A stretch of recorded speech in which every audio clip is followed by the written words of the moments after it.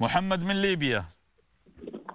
السلام عليكم. وعليك السلام يا محمد. إن شاء الله يا شيخ ربي يحفظك ويبارك فيك ويحميك ويرعاك يا طيب. الله إن يسعدك شاء الله يا رب يحمي دولة الإمارات من كل مكروه يا رب. يا رب إن شاء الله. وإياكم يا محمد.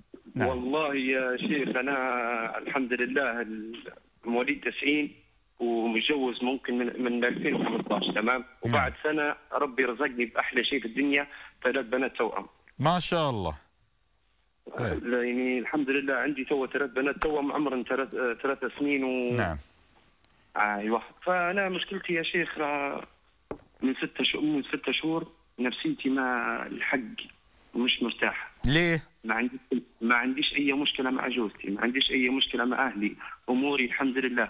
أنا ممكن من فترة ستة شهور عندي خالي كان من أقرب الناس لي توفى في توفى وانتقل رحمة ربي إن شاء الله ربي يرحمه.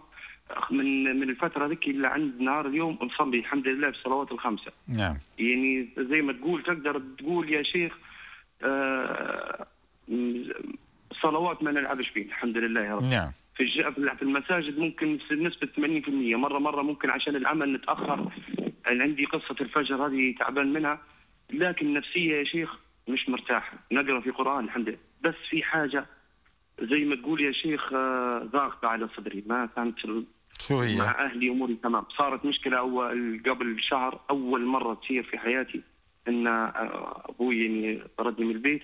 في يوم واحد في الليل جيته. قلت له أهم شيء يرضاك أنت. صار نقاش بيني وبين جوزتي. جاباتي بدون ما يسمع بدون ما يفهم القصة طردني من البيت. جيت في نفس اليوم في الليل وطلبت منه اسمع وقلت له أهم شيء أنت يا يا أبوي يكون يعني نبي رضاك عرفت. لكن آه، ما فهمتش. عندي مشكلة يا شيخ أنا في نفسي الحق ما عنديش وسعة البال يا شيخ.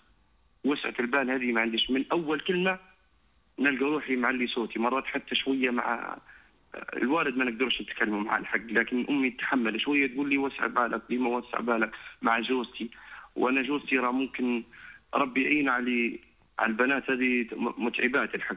الحمد لله لكن الحمد لله ما. فيش أي مشاكل. بس وين السؤال؟ عندي مشكلة قصة السؤال يا شيخ. نبي نسمع منك كلام يطيب الخاطر. لأني نرى لعلمك يا شيخ بصراحة. والله كل من الضايق نخش على اليوتيوب ونتفرج على برنامجك نفسيتي ترتاح. يسلمك. من الضايق. والله كلامك يا طيب يا شيخ. نشهد بالله بصراحة إن كلامك إيه. إن شاء الله يا ربي يحفظك ويحميك إن شاء الله. آمين وإياك. اسمع. فيا شيخ أنا أنا مش ما عندي السؤال بس أنا نفسيه نفسية ما, ما عنديش وسعة البال يا شيخ. نفسي. عندك سريع الغضب. بس الله يفتح عليك. صح؟ نبي نعالج نفسي. شنو الحل؟ شنو شوف اسمع النبي صلى الله عليه وسلم نعم. يقول إنما العلم بالتعلم. صح؟ تمام. وشو قال بعدها؟ والحلم به. خلك معي يا محمد. معاك يا شيخ إيه. شو قال بعدها صلى الله عليه وسلم؟ والحلم به؟ والحلم به؟ ما أعرف. بالتحلم. والحلم تحلم، بالتحلم. صح؟ تمام. الإنسان كما يجاهد نفسه النبي صلى الله عليه وسلم أيضا يقول ليس الشديد بالسرعة صح؟ تمام أنت معي ولا لا؟ معك يا شيخ والله معك. ليس الشديد بالسرعة. كمل الحديث؟ إنما الشديد الذي يملك نفسه عند الغضب. كل إنسان له ردة فعل شيء طبيعي. القطو القطة احصرها في الزاوية لها ردة فعل. صح؟ صح. ال- الحشرة الحشرة احصرها في الزاوية لها ردة فعل. هذا هذه طبيعة المخلوقات. المخلوقات دائما لها ردود أفعال. ميزة العقلاء هو عدم أن ردود أفعالهم آه، تقتل من أمامهم بهدوئها وحكمتها. الغضب يجر الغضب. الغضب دائما يجر الغضب لا يوجد غضب لا يجر غضب والدم يجر الدم والصراخ يجر الصراخ والقتال يجر القتال. لكن الله عز وجل يقول ادفع بالتي هي أحسن. وقال الله هل جزاء الإحسان إلا الإحسان؟ وقال الله عز وجل "فإ- فإذا الذي بينك وبينه عداوة كأنه كأنه ولي حميم. ولي الحمد وقال الله عز وجل شانه لنبيه وإنك لعلى خلق عظيم. من من نظر في الإسلام يجد أن أن دائما الله يدور في كتابه حول الأخلاق. حتى قصص مع الأنبياء. مع نوح ولوط. أخرجوا آل لوط من قريتكم إنهم أناس إيه؟ يتطهرون. صح؟ هم شاذين جنسيا. فاتهموهم أنه لا أنتم كذابين تطهروا علينا. حتى مع نوح عليه السلام. اتخذ نوح, عليه السلام مادة للسخرية ويبني للسفينة. حتى مع أيوب عليه السلام حتى مع يونس من تأمل في كل مع موسى عليه السلام مع الأنبياء أن تطيرنا بكم. خلاص ما نريدكم تشاءمنا منكم. فمن يجد تاريخ الأنبياء دائما يجد أن القرآن يدور ما بين رد فعل الأنبياء وفعل آه، وفعل قومهم. صح؟ دائما القرآن ما بين ينقل لنا فريقين. فريق الأنبياء وقوم وقوم. هل رأيت رد فعل الأنبياء؟ ها؟ هل رأيت رد فعل الأنبياء بالسوء؟ أبدا. لأنهم هم صاحب فكر هم صاحب منهج هم صاحب دعوة هم أصحاب توحيد. فالنزول يحشرنا معاهم وين الأنبياء وين نحن يا شيخ. ما هم بشر. أنا أنا ضد الكلمة هذه. أصلا ما بعثهم الله منا إلا لنقتدي بهم. لماذا جعفر قال للنجاشي بعث الله فينا نبيا؟ نعرف نسبه وحسبه وصدقه. حتى يكون قدوة لنا. إذا أنتم شو مشكلتكم. البشر؟ لو بعث الله ملك. لو بعث الله لكم أنبياء ملائكة تقولون ها حنا وين وهم وين؟ ملائكة. ولو بعث فيكم ومنكم بشرا قلتم هي هم أنبي... وش مشكلتكم أنتم؟ بعث ما بعث الله الأنبياء منا وتربوا بتربيتنا وأكلوا من طعامنا ومن حسبنا ونسبنا حتى نقتدي بهم.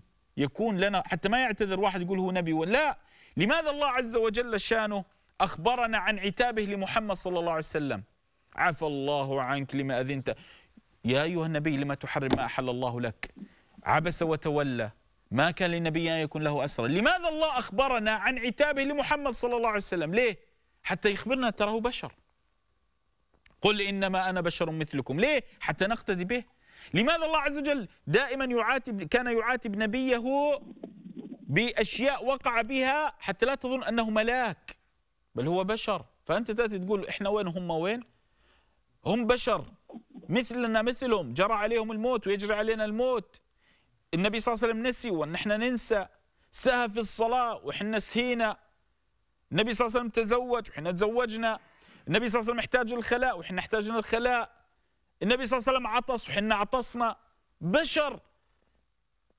فإنما أكرمه الله بالوحي حتى نقتدي بهم وإلا لو حنا أردنا خروجهم عن البشرية لكل إنسان قال وين حنا وين هم؟ المهم نرجع لموضوعنا. فالله ذكر لنا في كتابه تكلم عن فريقين فريق أنبياء وفريق ناس. انظر لرد فعل الأنبياء وانظر لكلام الناس.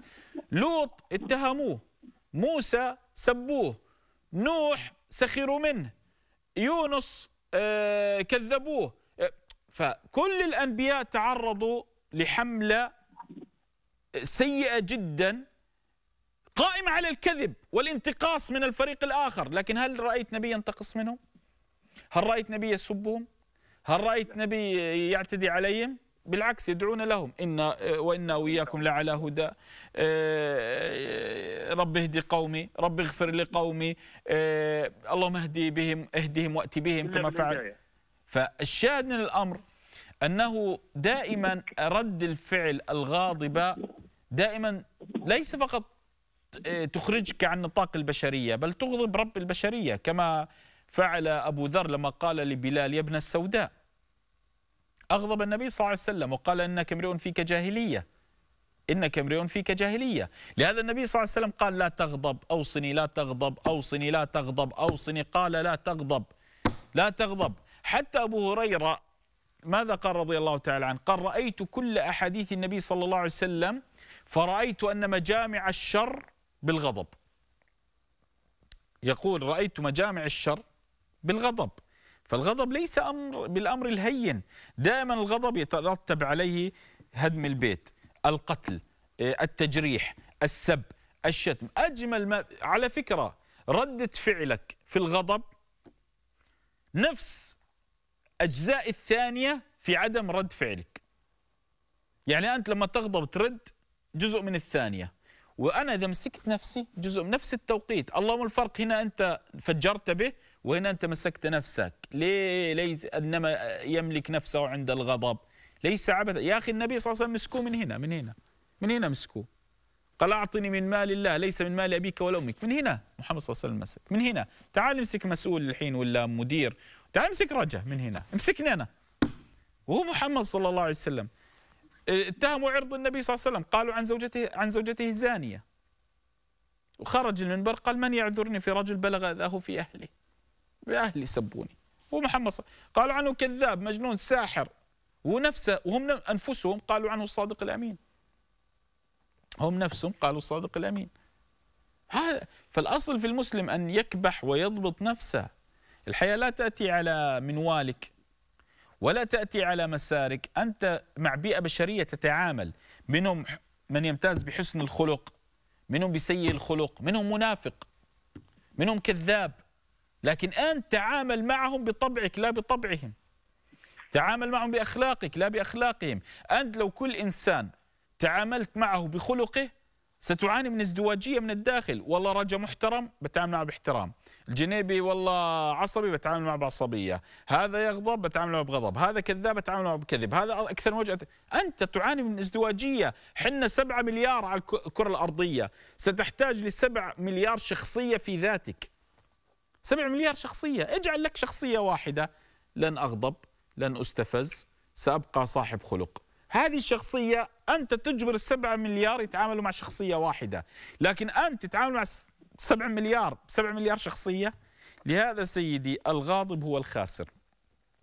اضبط أعصابك واضبط نفسك. هذا نصيحتي والله أعلم. نعم. فاصل ونرجع إليكم بإذن الله.